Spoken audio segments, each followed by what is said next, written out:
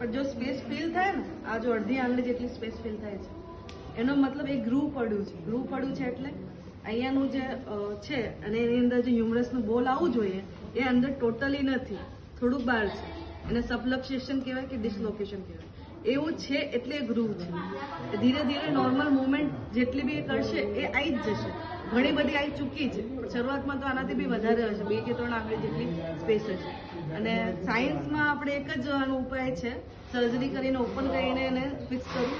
પણ એ ક્યારે એડવાઇઝ ન કરે. કેમ કે ઓલરેડી વર્કિંગ નથી. સર્જરી થશે એટલે વધારે મોબિલિટીની જતી રહેશે. બરાબર? અને આપણું મેઇન ફોકસ છે પ્રેક્ટિકલ યુટિલિટી વધારવી, ના કે આના ઉપર ફોકસ કરવું. તો એ થઈ જ જશે. ઓટોમેટિકલી બસ એને ઇન પ્રોસેસ રાખવાની જરૂર છે. તો ફર્સ્ટ પેથોલોજી બહારની આપણે આ દેખાય છે. હવે આના માટે શું કરીશું?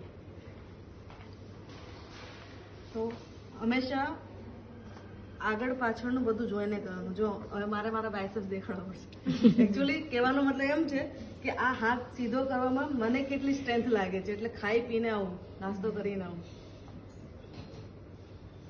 તો બી નથી થતું. એટલે આ સ્ટીફનેસ નંબર ગ્રેડેશનમાં નાખવું હોય તો થર્ડ ગ્રેડની સ્ટીફનેસ છે.